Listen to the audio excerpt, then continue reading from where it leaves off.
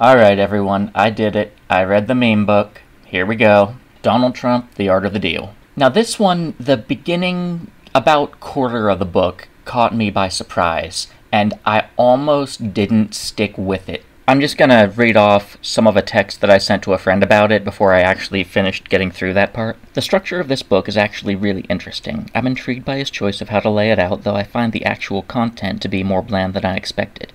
In the intro, he says, There's no typical week in my life, and then most of the book so far has been basically reading off from his personal meeting journal. The time he started talking to X person and what they talked about, and some backstory for his relationship with that person, and his general impression of them, maybe an anecdote about them or something. And then, 10:46 a.m., I make a phone call to whoever, one after another for entire days and weeks of his life. It's all mildly interesting, but not absolutely gripping.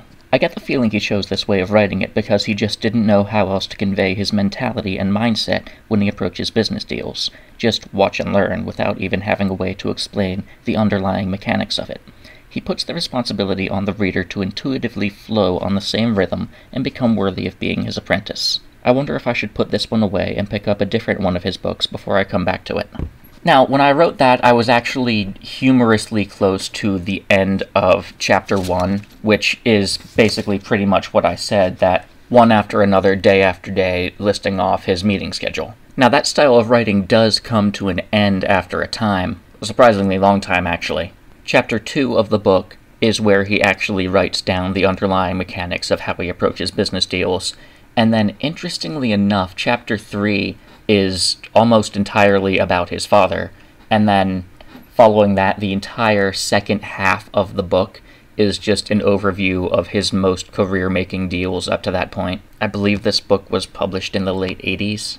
And then at the very end, he puts some quick blurbs about how all the deals from the first chapter of the book have been sorted out. It's been interesting to get through. Like I said, I'm intrigued by his choice of structure for how to lay out this narrative. But I think it did all come together nicely, and it gives a nice picture of his mindset, how he approaches life, his outlook on life. Side note, I just saw a news story this week from the Stormy Daniels trial. One of his former aides was giving testimony about the way he would write his tweets. He would actually compose them out loud, like he would verbally dictate the tweet to an aide and give very specific instructions about punctuation, capitalization, stuff like that spelling. And I just couldn't help but burst into laughter when I saw that because it was one of those like New York City courtroom sketches of like a crying woman on the witness stand and the headline to that was he liked to use the Oxford comma. So I was just I, that just made my day just crying about the Oxford comma. I loved that. That tickled me. I sure feel sorry for whoever ghost wrote this book, but that tickled me. So I'll read off a few of the notes I made for his chapter 2, the one where he goes into the mechanics of how he approaches deals,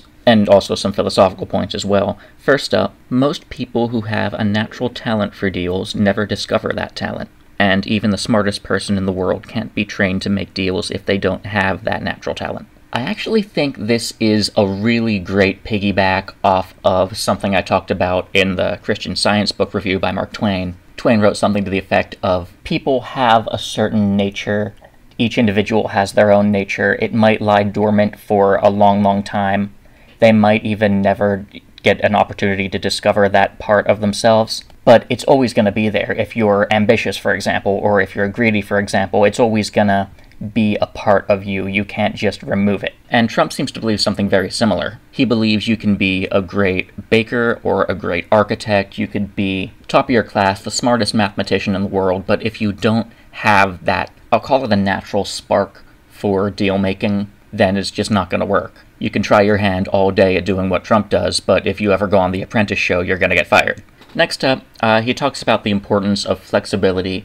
He always keep my options open is the way he words it. And I wasn't as surprised at how much he just goes with the flow in what he does, but I think it would be natural for some people to be surprised at that. Gives examples of stock market shares he's bought or properties he's bought where yes, he has a plan for it, but there's also a plan B or a plan C, or if something changes, he could do something just on a whim, totally unexpected. Like, oh, if I don't get the right zoning or licensing for this property, I could, always flip it, or I could always turn it into a condo instead. If he meets a roadblock, there's always a plan B. and if he doesn't have a plan B, he can think of one on the spot. Something he's proud of is he always does his own canvassing. He never trusts ad firms, meaning that the companies that go send someone out to scout an area, tell you how things are on the ground. If you're thinking of buying a property, what's the neighborhood like? What are people who live around there talking about? What are the local things that you should be aware of? He writes that he relies very much on his gut feelings,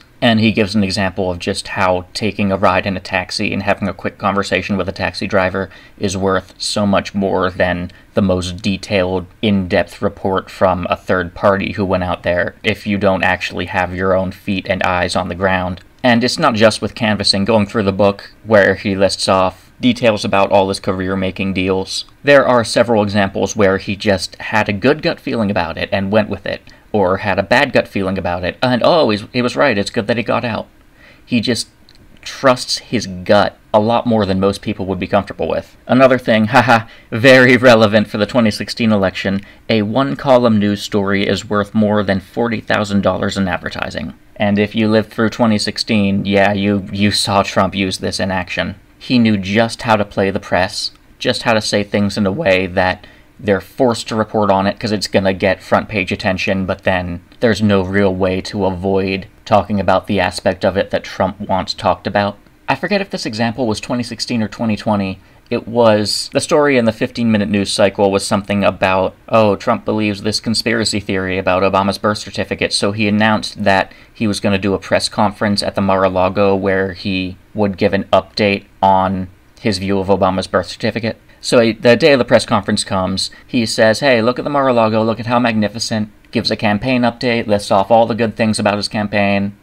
And then at the very end, five minute blurb, Oh, yeah, um, Obama was born in America. And that's it, and all the news corporations were forced to report on that because they already had people there streaming it live to all the cable news channels. Trump absolutely knows how to play the news to his advantage. Always go for the best, never settle for less. This mentality helped Trump a lot when he was building his luxury apartments in NYC. And he goes into this concept by giving the example of someone selling a car. He can tell the person is a hack if the car is dirty in any way, and he talks about how easy it is to just clean up the car and then you could get hundreds of dollars more on that deal, or sometimes thousands just by the car looking clean. And he absolutely takes that mentality with his apartments. Everything needs to be spotless, and in a future part of the book, he actually gets into a dispute he had with the co owner of a building. They were saying that they should cut down the maintenance costs by doing polishing of marble statues less often and stuff like that. And Trump said, no, absolutely not. And in the end, he ended up buying out his partner's share of the building and continuing doing the maintenance the way he insisted on doing it. And it's a luxury apartment. If they cleaned the lobby less often, somehow I think people would notice, and also somehow I think it would be a slippery slope to cutting more costs and cutting more costs, and sooner or later it would have no longer been a luxury apartment if they went along with that. So, from a business standpoint, I think Trump made the right move there. Never go into a deal without leverage, that one's pretty self explanatory. Always prepare for the worst, and the best will take care of itself. He explains that if he's okay with the worst case scenario, then anything better than that that happens, that's just icing on the cake. And finally, he says something that's strikingly similar to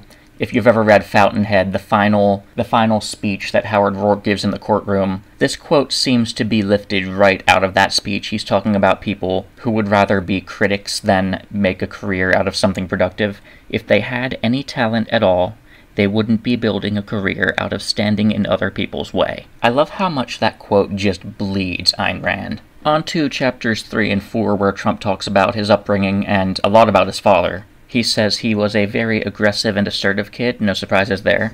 He says his family are his closest friends, and that makes a lot of sense from the way we've seen him operate, both in business and as president of the US. He talks a lot about his dad and the lessons he learned from his dad about work ethic. Talks about how his dad was a slumlord in New York, but could never quite afford the more expensive properties.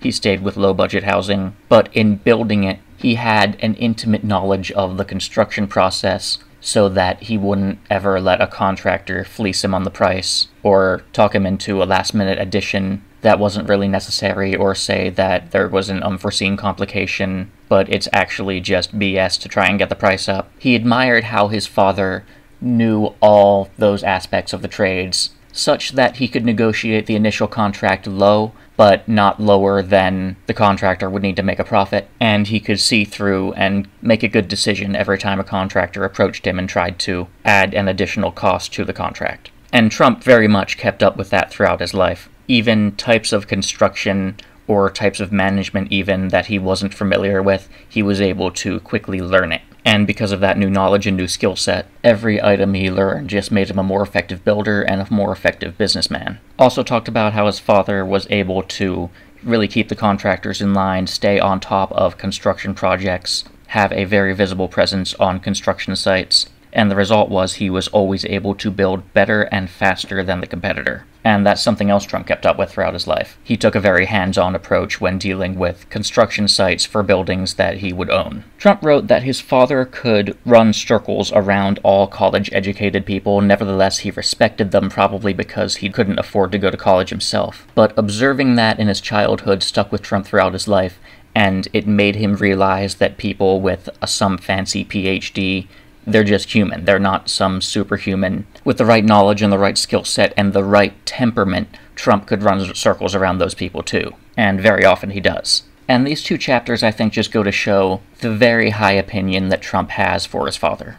Next up, we get into the section of the book where Trump talks about, basically in chronological order, the big deals he's had through his life. The first one he talks about, but I have a feeling this wasn't his first big deal where he made a name in business and construction. But the first one he talks about was the New York City Convention Center project, and he goes into detail about the different locations that people were advocating for, and Trump pushed very hard to get the specific location that he thought would be best. And in the end, the city went with the location that Trump wanted, but they didn't let Trump have a hand in the construction. The next deal he talks about was the Commodore Hotel project. He goes into detail.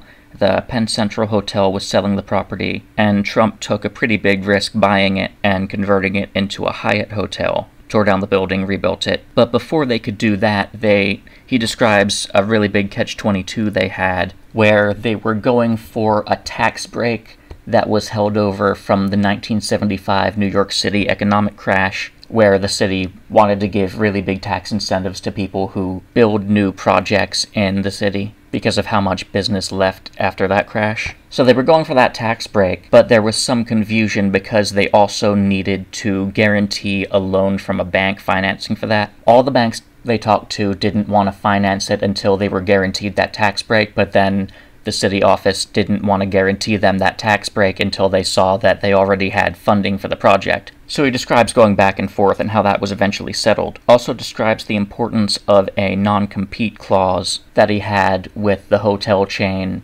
that was managing the hotel on Trump's property. Even going so far as to say he wrote a part in his will about the importance of that non compete clause so that whoever takes over his business would realize it's not something to get rid of lightly. And he writes about how every so often some guy from this company, the Hyatt Hotel Company, would come around, Hey, Donald, uh, how have you been? I'd love to meet up for lunch.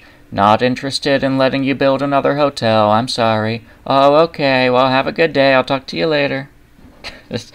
That's a little funny. And in the process of making, I forget if it was the Hyatt Hotel deal or something different. I wrote this note down, but I didn't make it clear to myself which story it was a part of. But Trump was struck by a man named Walter Hoving, who he had a verbal agreement with this guy. They shook hands on it, and then he said, "Hey, uh, conditions might change. Could we get something in writing?" And Hoving ended up looking genuinely distressed that Trump would think he would go back on a promise after a handshake. And Trump believed him. Trump thought that expression was genuine. And he goes on to describe how later on conditions did change, but Hoving stuck to what he shook hands on, even against the advice of his lawyers. And Trump really admired that and illustrated how much of a contrast it was between other big name businessmen in the city and Walter Hoving. The Trump Tower apartments are where we really get to see in action how much Trump values the appearance of things and how much effort Trump puts into getting the aesthetics just perfect. He goes into detail with how much effort he put into constructing those apartments and how to give the appearance of being an exclusive, prestigious thing. He would purposely tell people that the apartment building was full, they had a wait list, whenever a rich person would come and try to get an apartment. And he talks about at one point a competitor opened up in the same area and they were all holding their breath seeing if the competitor would actually be a threat to the business. But then the competitor announced that their price for apartments was lower than the Trump Tower price. And the people Trump worked with thought initially thought that it was a bad thing, but Trump said, "No, no, this is great. By setting their price lower than mine, they're essentially admitting that they're not as good as me." And Trump used that image. He's not just selling a building, he's selling an image, he's selling prestige. Trump understands this and he knows how to leverage this to customers. And he even talks about one time there was a rumor. I don't think this actually happened, but it was just a rumor that Princess Diana had from England had bought one of the Trump Tower apartments. So this one news reporter calls him up, "Hey, uh, we heard that Princess Diana bought a Trump Tower apartment." "Oh, I can't confirm or deny that." He doesn't deny it. He says he can't confirm or deny, which fuels the media speculating about it. And apparently they also called Buckingham Palace and they gave the same answer oh, we can't confirm or deny that. And I'm pretty sure the reality was no, but Trump purposely said can't confirm or deny because he wanted that prestige of people thinking, hey, British royalty might live here. He talks about how he got into the Atlantic City, New Jersey casino market. He talks about hearing a news story about how Hilton Hotels was having a strike in one of their Las Vegas locations, and how that single strike was making their stock price actually go down a significant amount. And that confused him because he knew how many locations Hilton had. He looked into it. Turns out over 150 locations.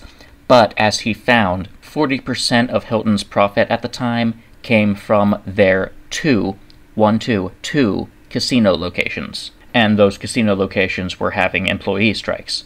And that's what was causing the stock price to fall so much. So Trump scratched his chin. He said, Hmm, casinos make a big profit, don't they? So he started looking at Atlantic City, New Jersey, which at the time was a pretty rundown city, but they were considering legalization of gambling. So Trump kept his eye on it, but he decided to wait because as soon as they legalized gambling, of course, everyone who wanted to build a casino would rush straight there. And the prices for land, prices for development would go up right away for a little while, but then they would stabilize. And after they stabilized, after he could buy property for a lower price, that's when Trump planned to move in.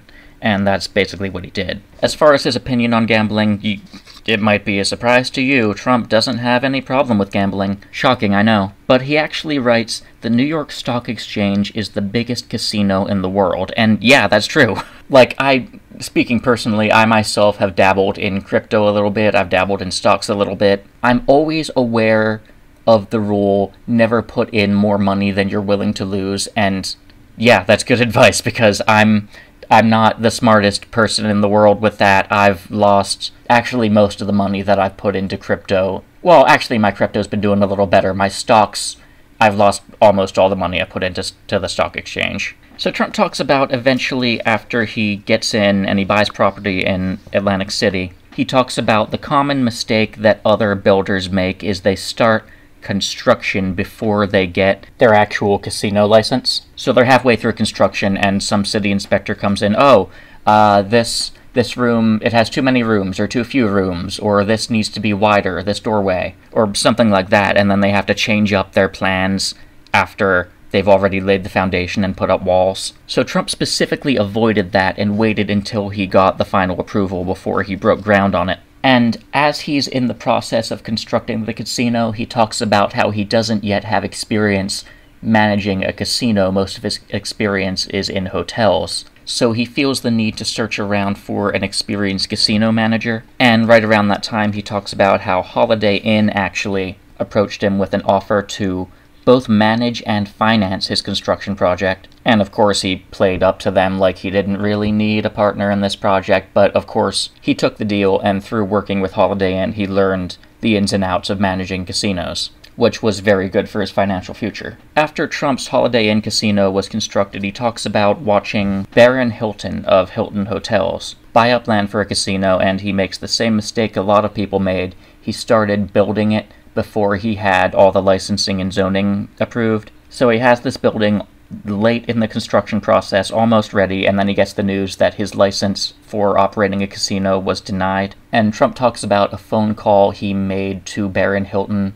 consoling him, saying, Oh, hey, sorry this didn't work out for you. Trump did write a lot about Hilton's children, though, and the way they managed the Hilton business. He very much believes that inherited wealth destroys moral character. And I think this is kind of funny. He refers to it as the Lucky Sperm Club. One aside I will make in between two of Trump's stories about deals he made is Trump speaks very highly of female hotel managers that he's hired, either his wife or another female that knows business, knows management, knows how to get stuff done. Speaks highly of women who are just tough personalities, strong willed, they know how to get what they want. And I mention this because I've heard the theory going around that Trump's VP pick in 2024 will be either a soft spoken male that blends into the background or a strong, charismatic female. And from reading this book, I think that's very plausible. I think that fits in with his personality quite well. I wouldn't be surprised if Trump picks a woman for VP, not even because he's going after female voters, but because he genuinely enjoys working with strong willed women who don't get pushed around. One of Trump's stories that I was actually pretty amused by is 100 Central Park South, and he opens it up by saying, the lower the rent and the fancier the apartment, the harder people will fight to keep their apartment because they have more to lose. And this reminded me of something I vaguely remember. I tried to look up the quote. It's from The Art of War by Sun Tzu. I vaguely remember him talking about because I read it years ago, I might be misremembering, but I've thought I remembered him talking about never back your enemy into a corner where their troops cannot retreat because then their troops will fight three times as hard because they're fighting for their lives. And in turn, it might not always be a bad thing if your army is backed into a corner where they can't retreat for the same reason. He talks about buying the apartment building from someone who was retiring and looking to get out of the business, so he got a pretty good price for it, and he didn't exactly suspect the reason for why the price was so low. Turns out it is a rent control building. And what rent control was is a government policy to lock in the amount of rent that tenants are paying so the rent doesn't go up an exorbitant amount. But the problem with that is it doesn't account for inflation, so at some point years down the road, the tenants are paying super low rent, but the building upkeep has gone up, the price of maintaining the building has gone up. So at some point, it's just impossible to make a profit on these buildings, and Trump even describes how a lot of buildings in New York City were just abandoned because the owners of those apartment buildings would rather not even deal with it. So Trump's plan when he went into 100 Central Park South was, of course, to demolish the building and build more luxurious apartments on top of that. But what he didn't account for are the existing tenants. They know they're getting the deal of a lifetime on those apartments that are already there. They organized, they fought it in court, the eviction notices and the planned demolition of the building. And Trump talks about a lot of tactics that other landlords would or could employ. Talks about the option of just purposely leaving the water heater in disrepair or moving homeless people and drug addicts into apartments that are already vacated, stuff like that. Trump did not do that. Instead, he was very hospitable to the tenants. He writes about a lot of effort he took to keep the building in working order for those tenants, but nevertheless, one of their tactics that they chose to use was to bombard him with harassment charges, which ultimately amounted to nothing. But Trump says in the end it was an unexpected win for him because they delayed him so many years in demolishing that building. In the meantime, the real estate prices in the city rose, so whatever he chose to do with that property suddenly became more valuable than what it would have been a few years ago if he had been able to demolish the building in a timely manner. Something else fun Trump did was he bought a football team not an NFL football team, but a team in a league called the American Football League, AFL, also known as USFL, bought a New Jersey team. Now, the team was known for being bottom of the bucket, they were, had a pretty bad record. Trump's plan was to reform both the team and the entire league so that the league itself could rival the NFL and the team could start being a much better profit on Trump's investment. So Trump gets in there. He starts going to the meetings of all the team owners. He starts proposing things like moving the football season schedule to the fall instead of the spring, and encouraging all the owners of all the teams to start hiring out some of the star NFL players buying their contracts, names like Herschel Walker and Joe Namath, doing things that just really get under the skin of the NFL. And it got to the point where the NFL, the higher ups there, pretty much internally agreed to declare war on the USFL, pressuring all the TV networks to deny them that fall time season slot. This eventually culminated with the USFL launching an antitrust lawsuit against the NFL, which they actually did win, but the damages were, if I remember right, they only got $1 in damages. And eventually the USFL actually merged with the NFL, something I never knew about.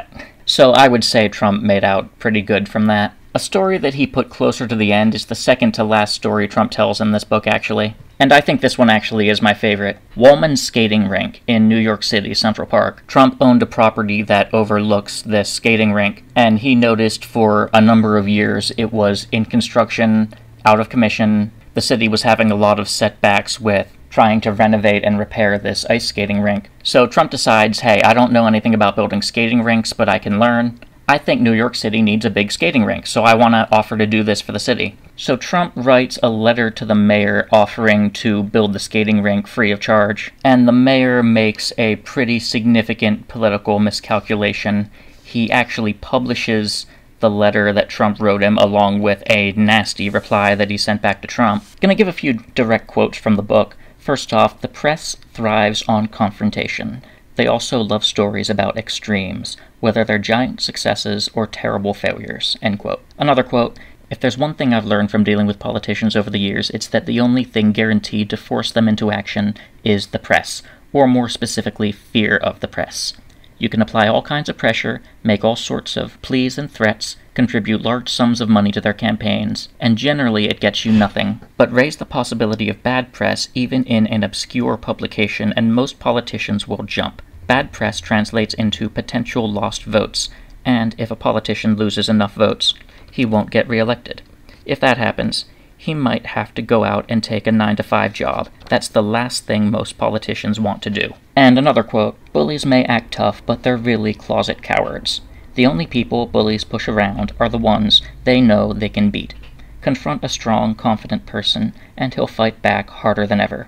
Confront a bully, and he will fold like a deck of cards. So the mayor published those two letters back and forth to and from Trump, misread the room, got absolutely slammed in the press, and basically his hand was forced. He had to let Trump take over the project. So Trump gets in there, starts learning about the project, finds out they were using a Freon system, which at the time was a newer technology, using a Freon system to freeze the ice. Now, where things started going wrong was it was a city managed project moving slowly. The copper Freon pipes, the fragile copper Freon pipes, were not only exposed to the elements for a period of months, but it turns out people were breaking into the construction site after hours and trying to steal some of the copper from the pipes. Nevertheless, they persisted. Um, they sure did persist. They persisted in pouring concrete over those pipes. Later found out that there were several leakages in the pipes because, of course. So, what did they do to these fragile pipes that were poured underneath concrete? Well, they took jackhammers to the concrete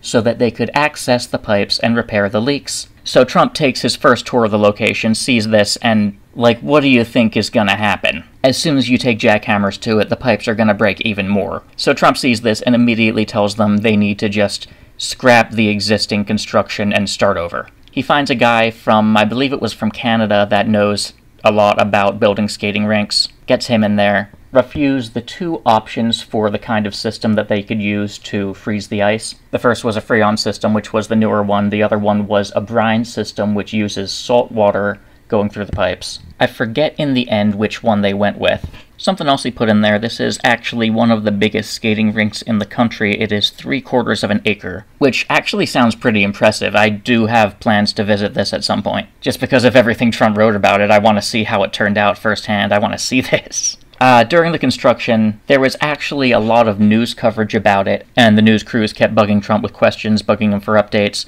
He actually decided to give a press conference where he basically just said, Yeah, everything's going according to schedule. And then the very next day, he gets all these positive stories about the skating rink construction. And even Trump said, Yeah, that was probably a pretty showy move, but he was just getting bugged so much by the press, it was the most convenient way to answer all their questions. And this story in particular, just having spent time in New York City, having seen having seen the malaise that just permeates every single New York City office pretty much. Like something as simple as going to a doctor, the billing department, the amount of bureaucratic red tape, you're going to get contradictory statements about your balance due for months after your appointment, even if you pay it right away promptly. There's just such a level of so many people not caring enough about the quality of their work in that city. And then we get one man, Donald Trump, who's able to just build all this great stuff. And I think there's an inspirational story in there somewhere. I think there's a point to be made about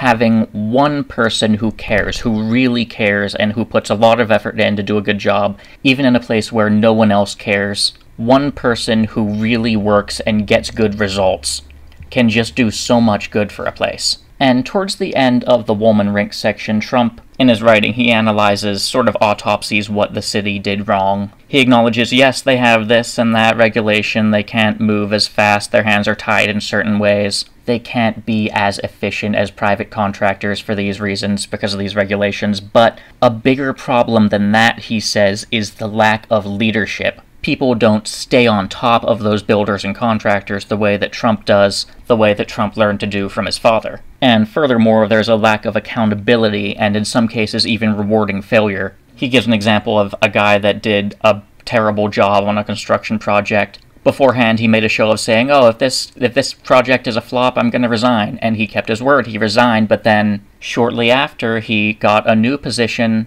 that was higher up with a little better pay, rewarding failure, people not being accountable for doing bad work. And from what I've seen of the city, that yeah, that's that perfectly describes New York City. Not just city government offices, but so many so many private businesses. There are people who care, but there are so, so many people who just don't care about the end result. They don't care about the customer. They're just in it for however many hours a week and a paycheck. That's the story of New York City. The last story Trump gives in his book was a property called West Side Yards. He bought it from a guy named Macri, who was initially a bridge builder from Argentina. Uh, Trump said that this guy did really good work building bridges, but that didn't necessarily translate well to building apartment buildings in New York City. For a number of reasons, what Trump said about this guy's mindset is he inferred he was used to getting all the funding and all the resources up front, and he was sort of blindsided by all the concessions and all the changes that the city demanded in the permitting and rezoning process. He didn't keep on top of his budget. He paid a lot of things in full before even selling the apartments that he planned to build, and he didn't do a lot of advertising work for his apartments. So sooner or later, he ran out of money, and Trump happened to be the one that bought the property from him. Now, Trump's plan for this place was to build fewer buildings, but also taller buildings. Mostly apartments, but also, like Trump Tower, he wanted to have a big retail space on the ground floor. And somewhere along the line, he decided he wanted to build the tallest skyscraper in the world. Acknowledging that for a variety of reasons, both construction reasons and permitting reasons, it would be much cheaper to build three 50 story buildings than one 150 story building. But again, remember what he said about the prestige value of Trump Tower. He firmly believed that the prestige value was worth it. He gives a quote that he saw from a news publication at the time. The quote is Donald Trump is not being reasonable. But then, man does not live by reason alone, fortunately. Trump, who believes that excess can be a virtue, is as American as Manhattan's skyline, which expresses the Republic's erupting energies the super skyscraper is necessary because it is unnecessary. And I think, especially for its time, in the decade of the 1980s contrasting with the Soviet Union, I think that is an extremely American quote about an extremely American city and an extremely American developer. That just hits so many beautiful patriotic feelings in that one quote. And something else when Trump announced he was going to build the tallest building in the world, he tells a story that he turned on the news that night he was expecting to see news about a meeting between Reagan and Gorbachev, but instead the news guy said, okay, we have to interrupt this broadcast. We have news. uh, the tallest skyscraper in the world has just been announced. So that even caught Trump off guard by how much the news ate up this story about the tallest building in the world. And he goes on a tangent about the city's policies that are driving big corporations out of the city. And specifically, he blames Mayor Ed Koch, who was actually the same mayor who published those nasty letters about Wollman's skating rink. This was after the skating rink, after the big press conference that made Trump look golden and made the mayor look like a big buffoon. So that mayor absolutely had a bone to pick about Trump. But the issue at hand was NBC, the news broadcasting station, had announced that they would be moving locations. And one of their big options for a new location was in New Jersey outside of New York City. But the other option was Trump's super skyscraper that he was going to build. And there was debate and city red tape that they had to cut through regarding the tax benefits to NBC for staying in the city. And actually, as a matter of fact, I do not know how that got resolved. I, I'll have to look that up actually, because I believe that was still ongoing at the time that the book was finished. Okay, yeah, so I did look it up, and it turns out there were seven whole years of negotiations before all the zoning and all the plans got finalized. The plans went through multiple stages of changes during this. The 150 foot skyscraper idea was scrapped, and the current site as it was built looks much different from that original plan. I'm sure Trump found a way to make money off that, though. Following that, there's a short segment at the end that just describes how things developed, the things we heard about during that chapter 1 section, where he just goes over his planner for that week. Among the things he mentions were he was invited to Moscow to build a hotel there. The Soviets invited him to take a tour around and consider land development there. So that would have been pretty cool, but I, I don't know if that actually happened. And the very end section where he ties the whole book together, it's pretty short and sweet, so I'm just gonna read off four different quotes that actually, I'm pretty sure they comprise more than half of that section. It's so concise. First one, I said at the start that I do it to do it, but in the end, you're measured not by how much you undertake, but by how much you finally accomplish. And that's that's certainly a tough philosophy to live by. In a way, it takes the humanity out of yourself and reduces yourself down to the things that you do, and you're measuring yourself by your success or your failure, not by not by your spirit or your soul. But at the same time, you can't deny that Trump did accomplish a whole lot more than any regular person can ever hope to accomplish. He developed all these buildings, built a real estate empire, multi multi millionaire, president of the United States, and he's probably going to be the second president ever to have two non consecutive terms in office. It's hard to think of a person who's accomplished more than that, ever in history. Another quote I've never been terribly interested in why people give because their motivation is rarely what it seems to be and it's almost never pure altruism.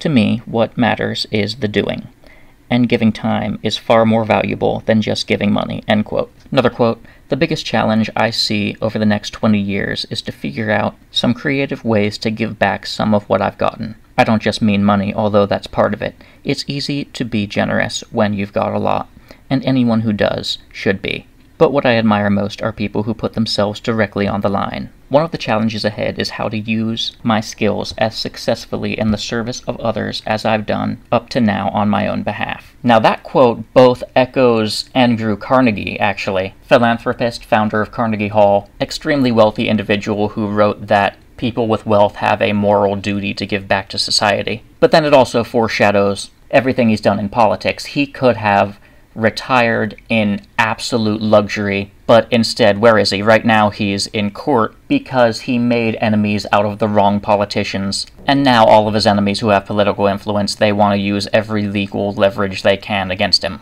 He could have just chosen not to run in 2016. He could be sitting around with his family in his pool, playing golf all day, if he wanted to, he could probably have more mistresses than Hugh Hefner. But no, instead, he's on the campaign trail, he's sitting in court, he's dealing with all that. And you may not agree with his political views, but I think it's plain to see that he's doing it because he believes he's doing the right thing. He believes what he's doing is improving the country. And I happen to agree with a lot of his political views, so there we go.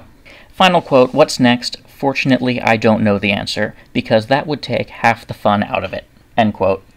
Well, at the time of writing, I don't think he did know that he would be running for president, but I'm sure he's having a lot of fun. This was an interesting book to get through. I'm glad I did it. Let me know if you like my review. Catch you later.